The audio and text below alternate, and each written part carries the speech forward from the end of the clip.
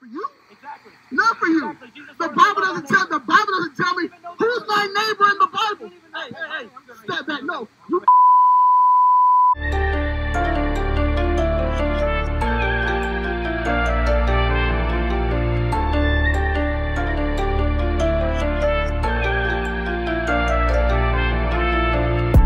You know my step a step and this shit can't get hectic.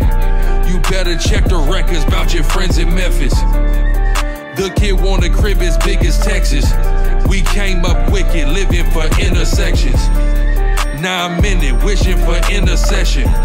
Summer or winter with a temper pleasant. Downtown to the trenches, we directed repentance. So you don't need a text nigga to get lost this. tribes of Israel, the scattered Israelites, blacks, Hispanics, and Native Americans, that they are the true biblical Israelites, right? Um, so what was the what was the question here? We We're talking about the church. You got that? So what is the church? It's the book of Acts, chapter 7, verse 38. This is he that was in the church in the wilderness with the angel which spake to him in Mount Sinai with our fathers who received the lively oracles to give it to us.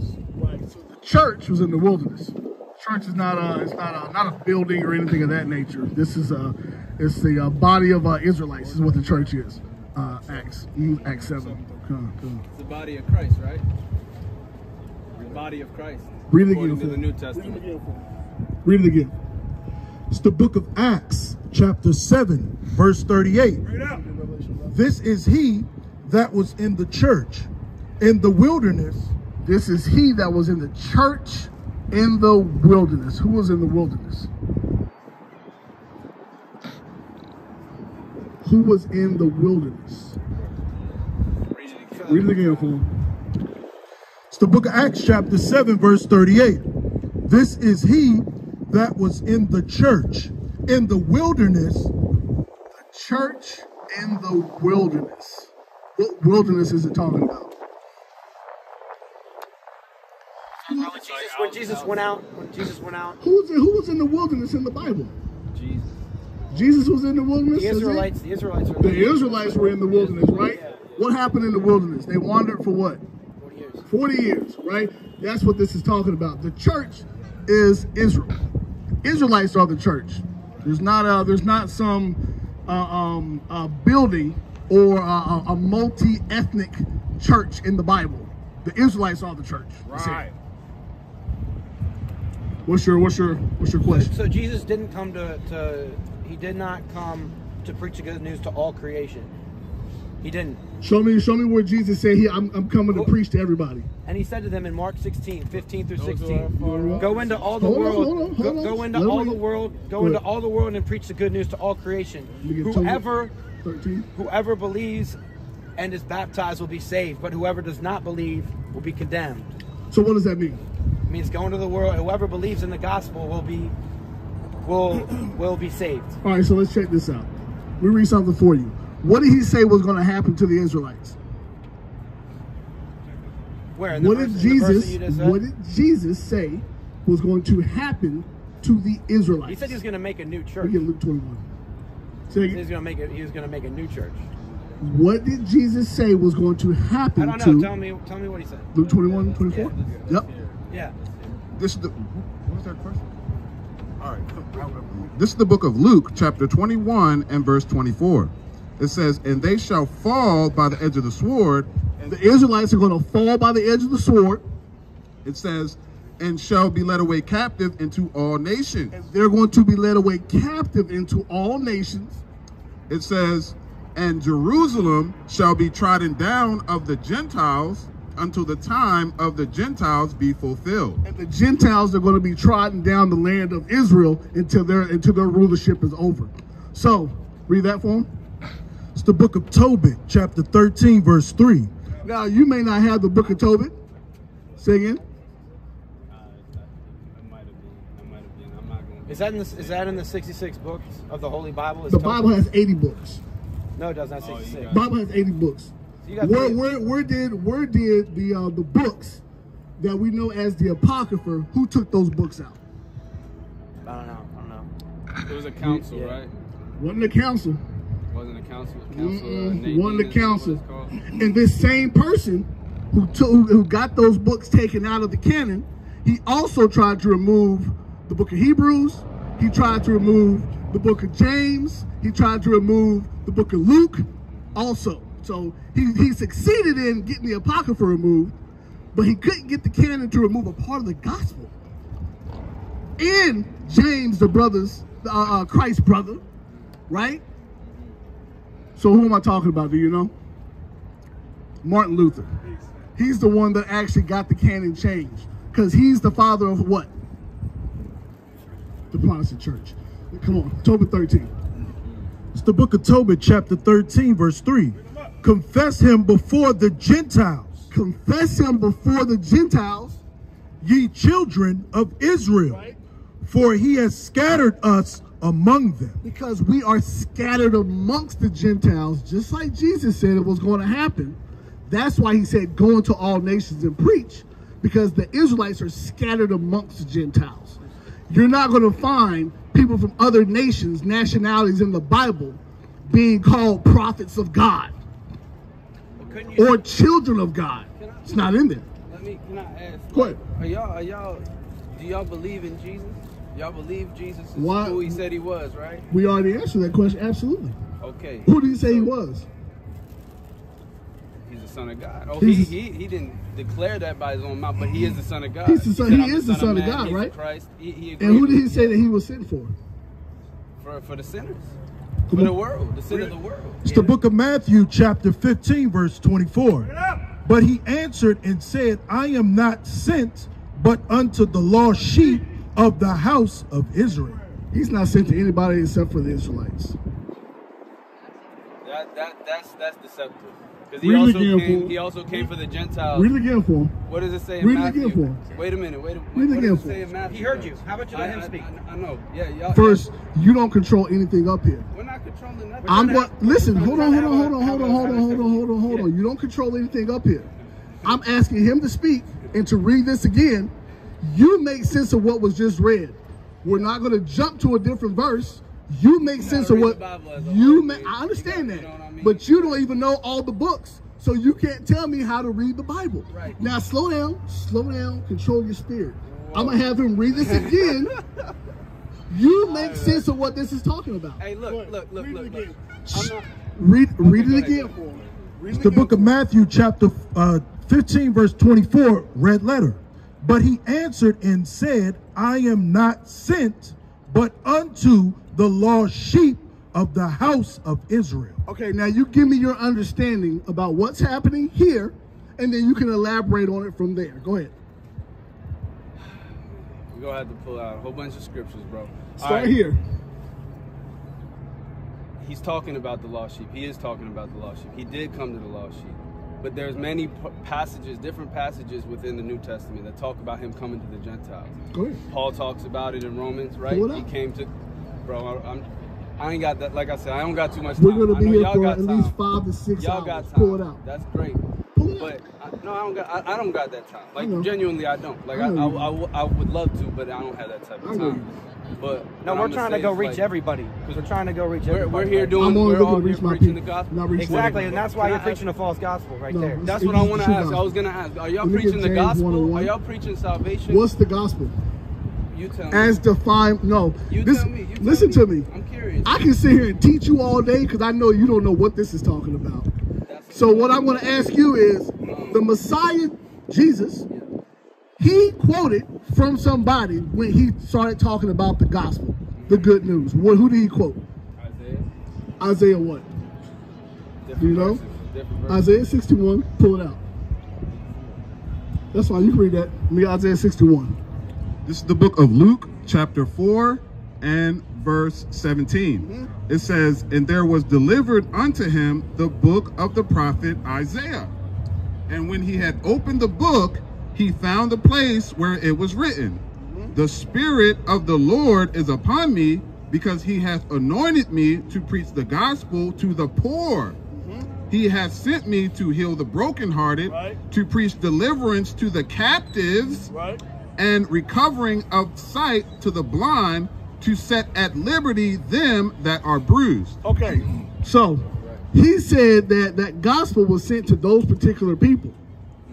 Ironically enough, the Bible addresses the Israelites as those people, right? I mean, Yeah, it does. I mean, everybody So now this is what we're going to do. He quoted Isaiah 61, right? He gave a, a snippet. Now let's read Isaiah 61 and see what Isaiah 61 says. It's the book of Isaiah, chapter 61, uh, verse 1. The Spirit of the Lord God is upon me because the Lord has anointed me to preach the tiding, good tidings to the meek. Good tidings is to be preached to the meek. It's going right back to what he was already quoting before. Go ahead. He's not, hold on. He's not going to lie. He's just, let's, let's keep reading it. Good tidings to the meek. He has sent me to bind up the brokenhearted, Right?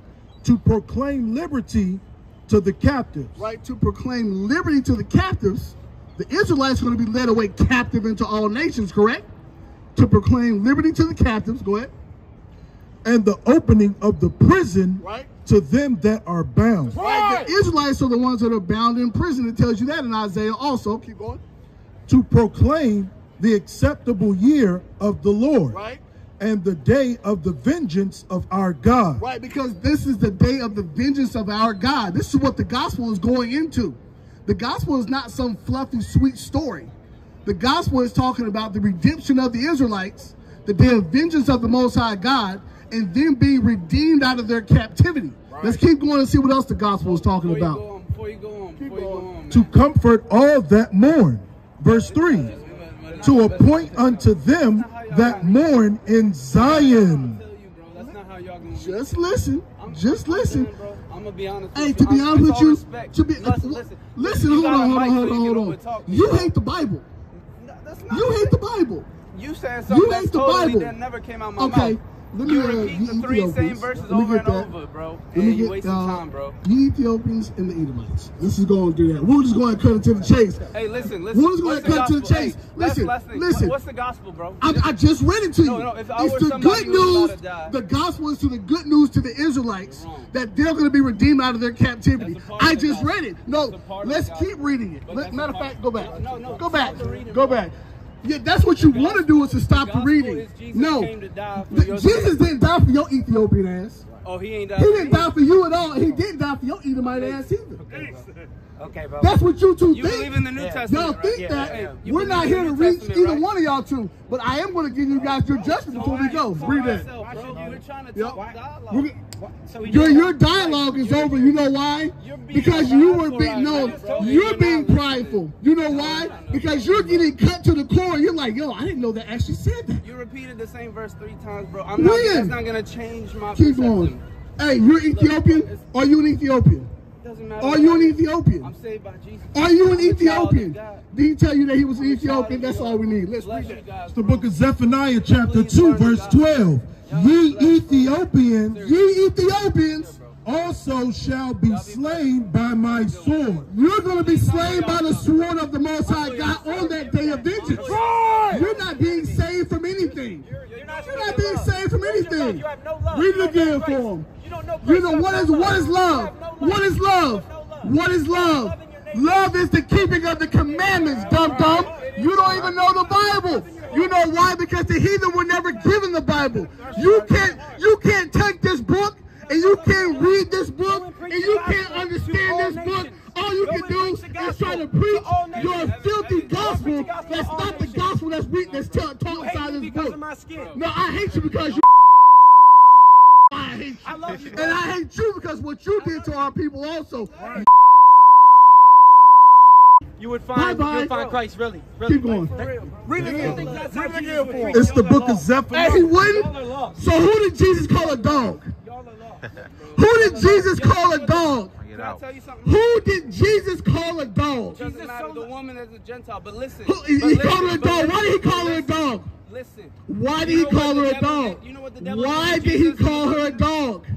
Talk, bro. Why did he call her a dog? Talk. Talk, tell me this. Answer Why this. did he call her a dog? You know why? love in your heart, You know why? Because y'all get the crumbs, no love, but this loaf and this understanding is for the children. It's not for y'all. It's not for You have no y'all. love in your heart. I have no love for you. Exactly. Not for you. Exactly. The Bible doesn't tell the Bible doesn't tell me who's my neighbor in the Bible. don't even know- Hey, hey, hey, hey, hey, I'm good right step back. No, good right here. I'm you good read the Bible for You don't know me. the simplest. It's the book of commandments Zephaniah, chapter 2, verse 12. You Ethiopians also, ye shall be slain by my sword. You Ethiopians shall be slain by the sword. I love, I love the children of God. This is the book of Revelation, chapter 13 and verse 10. It says, He that leadeth into captivity shall go into captivity. He that killeth with the sword must be killed with the sword. Here is the patience and the faith of the saints. Hey, we are patiently waiting for the day that we get our get back on our enemies. That's right. We're not trying to save enemies from anything. Right. Right. I love my brothers. That's all the Bible tells me and commands me that I have to love. It's my brothers. Not some filthy heathen. Read that. It's the book of Obadiah, chapter 1, verse 18. Right? And the house of Jacob shall be a fire. That's right. He just got a taste of what a fire felt like. Right. Right. The house of Jacob is going to be a fire. And the house of Joseph a flame. Right? And the house of Esau for stubble. Right. And they shall kindle in them and devour them. Right. We're going to kindle in them and devour them. They don't want to read the Bible. Let's go back to the gospel. Right? We're going to start at the top. Uh-uh. 61. Uh, verse 3. Yep. Yeah. The book of Isaiah, chapter 61, verse 3. To appoint unto them that mourn in Zion. Right. See, the problem is the heathen have always tried to come in and claim our heritage. Right. Right? The Bible tells me to that this gospel is to them that mourn in Zion. Right. Right? You tell me when the heathen whatever called whatever called Zion, Jerusalem, Israel, right? Children of God. Tell me and show me when. It's never happened. It's never happened. You don't even have to really say much, right? And that's just that. I'm gonna be honest with you. That's a that's a cut on me because every time I got I got fired up with him, he came back. When he heard the words, he wanted to walk away, right? When he heard the words, he wanted to walk away. But when he let me get, he when he got me out of my my space, he was ready to come on back. Want to get this. When the words started coming back out, he was reading. Then it's oh, it's time to go. He didn't want to hear that. Let's keep reading. To give unto them beauty for ashes. Right, The oil of joy for mourning. right, The garment of praise for the spirit of heaviness. right, That they might be called trees of righteousness. right. It's for Israel to be called trees of righteousness. Keep going. The planting of the Lord. Right. That he might be glorified. right? It's so that the Most High God can be glorified. See, Israel went off, started sinning, right? They they shamed the Most High's name amongst the heathen. Now they're repenting and coming back to who they are, keeping the commandments, and He's going to redeem them. And that's how His name is going to be glorified around the whole earth, Right. right? This was never meant and never taught to the to the heathen a, a, a, a salvation or redemption. There's no such thing. Keep going. Verse 4. And they shall build the old waste. We're going to build the old waste. Go ahead. They shall raise up the former desolation. Right? Didn't didn't uh, didn't Jesus tell us? Didn't uh, uh, the man we know as Yahawashi, his real name in the ancient Hebrew, didn't he say that the Israelites were going to be led away captive into all nations, and that the Gentiles were going to trodden down the land until the end? Read that again. Verse 4. And they shall build the old waste. Right, the waste that the heathen trodden down, which was our land, we're going to rebuild it. Keep going. And they shall raise up the former desolations. Right. And they shall repair the waste cities. Right. The desolations of many, uh, Salaki, of many generations. Right. Verse 5. And strangers And hold on, hold on, hold on. See, he wants the strangers and the non-Israelites to be saved. That's what he wants. That's what they want because they understand what the Bible says and what's going to happen to them for what they did and what their forefathers did to the children of Israel. They know. They know, and it's burning them up because they're trying to find a way how to how to how to slide in, but you can't. The Most High God's word does not go out and come back void. He's not a liar. It's going to play out the way He said it's going to play out. Read that one more time. And the strangers shall stand and feed your flock. The strangers are the ones that, that are going to stand and feed our flocks. My children are not going to be out there in the field feeding no animals. Right. My children are not going to be out in the field working the field, building. We are yeah, like like the war dog said, been there, done that. Our ancestors have already done enough. We got a job to do right now, which is to come back to the Most High God and keep His commandments. Take hold of that heritage that we have, right? And just like uh, was it in uh, in, uh, in Ezra, right? What do you have to do to build this house? This ain't this ain't got nothing to do with y'all, right?